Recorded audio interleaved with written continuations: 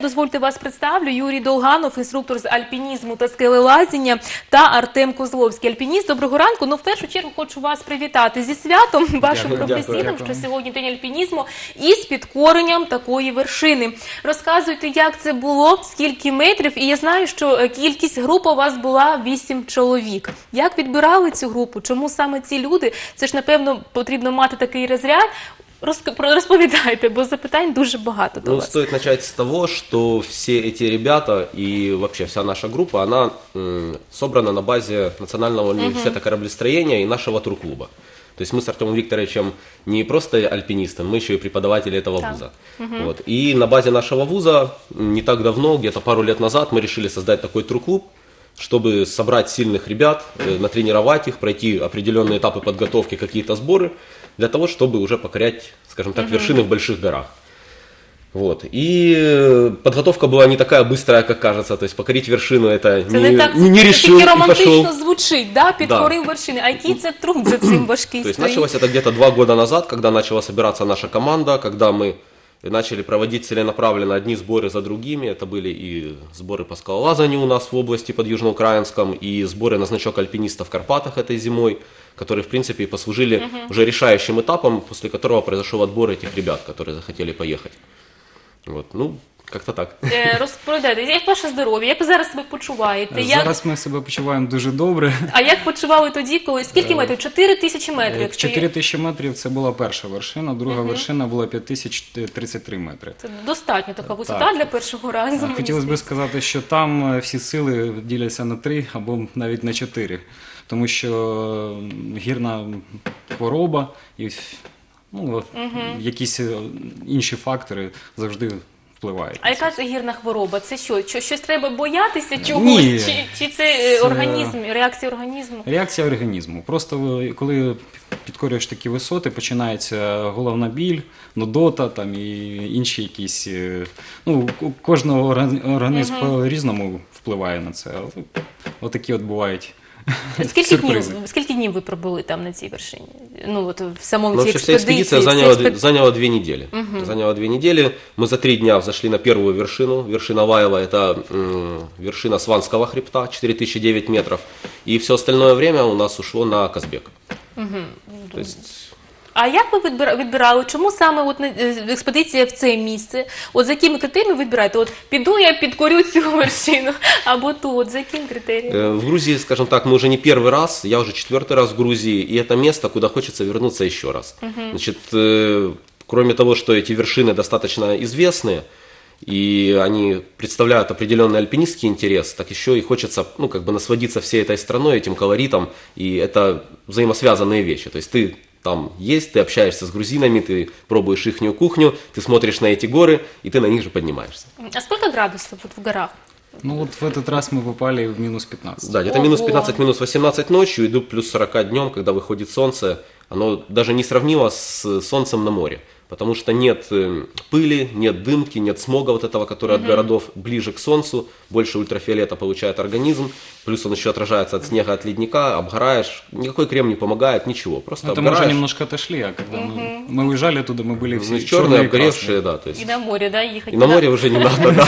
Скажите, вот некоторые альпинисты говорят, что не так важно подняться на гору, как спуститься с нее. Это миф? Почему? Почему это, так это говорят не миф, это абсолютная правда, потому что когда ты поднимаешься на гору, ты, во-первых, у тебя есть мотивация, ты горишь, ты вот вершина, ты туда бежишь, у тебя много сил.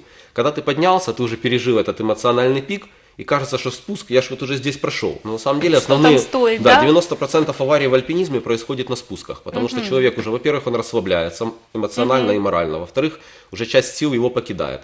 В-третьих, э, очень часто именно симптомы горной болезни начинают бить на спуске. Когда ты поднялся наверх, то давление, разрежение воздуха как бы меньше давления. Когда ты начинаешь спускаться, давление резко растет, начинает болеть голова, тошнота и слабость. То Поэтому спуск это нюансы. все-таки более такое опасное занятие, чем подъем. На, на Конечно. самом деле. И как смешно бы не, ну, не звучало, когда ты поднимаешься, спускаешься, как бы себя чувствуешь более-менее нормально. Как только ты пришел и присел, у тебя начинается все сразу. Все симптомы, все вылазит в один момент. И, и никак их и не поборешь, ничего с Ну, ними не таблетки не сделаешь. помогут, это таблетки просто не нужно пережить. А что кушают альпинисты во время экспедиции? Вот Это очень самый интересный интересно. вопрос. Да, это интересный вопрос, потому что длительное время, горы, а кушать же что-то надо. Как это у вас А можно я отвечу на этот вопрос? Пожалуйста. Просто Юрий Анатольевич у нас, э, я с Юрой познакомился два года назад, и это было, наверное, одно из самых важных знакомств в моей жизни, потому что, ну, я пошел в первый поход. И вот перед первым походом я очень сильно готовился. Это был просто туристический поход. И мне было интересно, что же кушают действительно альпинисты.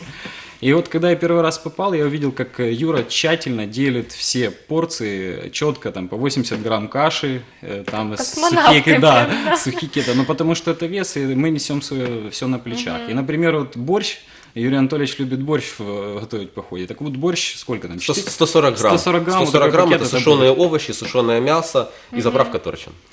И это, это, поверьте, очень вкусно. И, ну, обязательно сало, конечно, Да. как же без Ну, сала. конечно. Да А за сало отвечаю я в походе, да. Это Юрий Анатольевич всегда мне доверяет. В следующий раз придете к нам в студию с завтраком альпинизма. Кстати, уже знаете, куда в следующий раз? Какую вершину будете покорять в следующий раз? Уже есть какие-то? Готовитесь к чему-то? Ну, пока еще не готовимся, мы пока что переживаем еще все эти Эйфория пози- позитив- да, еще эйфория, позитивные моменты все переживаем. Но определенные планы на следующий год есть. И они уже обрисуются, скорее всего, зимой после очередных сборов на значок альпиниста. Я думаю, что мы еще молодежь подтянем с этого года, потому что сейчас, скажем так, идет такой пик популяризации активного образа жизни. Молодежь очень интересуется и скалолазанием, и походами, ну и как э, результатом альпинизма.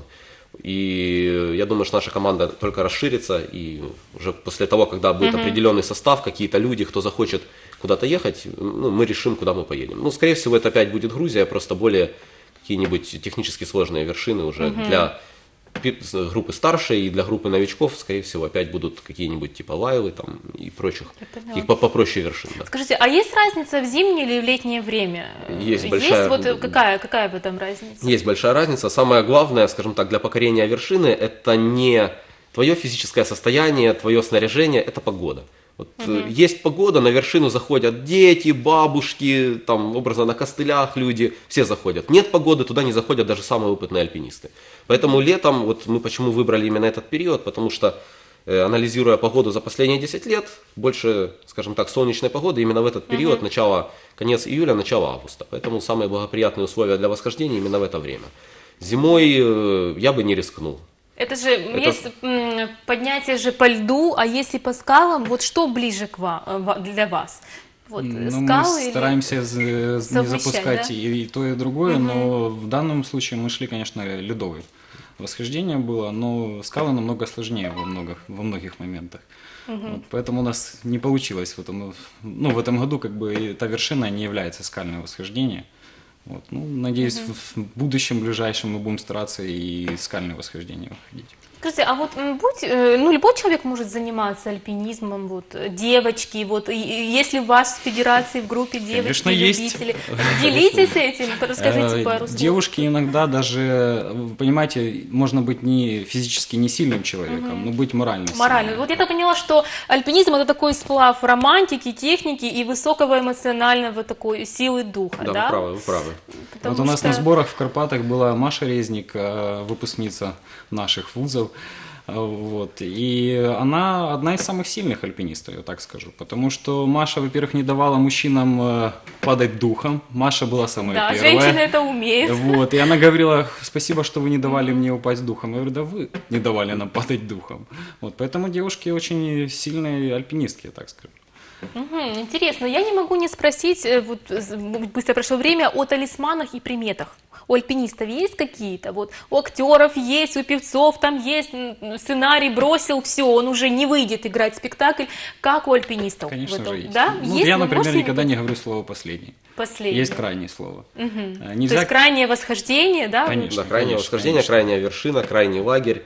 Э, Еще одно из примет нельзя поздравлять с вершиной на вершине. То есть Почему? с Это только половина. Да, А, это да. даже Даже половина меньше, пути чем с половина. вершиной поздравляют уже в базовом лагере. И тогда кричат все, уже изнеможденные, кричат на весь лагерь с вершины. Нельзя бросать камень с э, вершины, с вообще нельзя в горах кидать. Во-первых, это опасно, не, знаю, что внизу. Во-вторых, это, ну, есть примета, нехорошая. Плохая примета, да? Да. Очень интересно. Ребят, спасибо вам, с вами очень интересно. Я желаю вам удачи в новых покорениях. И хотелось бы еще и мастер-класс от вас получить, поэтому думаю, что следующая наша съемка будет у вас на скалодроме уже. Спасибо, що знайшли время, спасибо, що прийшли. Я нагадаю, що у нас в гостях був Юрій Долганов, інструктор з альпінізму та скелелазня, та Артем Козловський, альпініст. Молодці, активні хлопці, які будуть підкоряти вершини.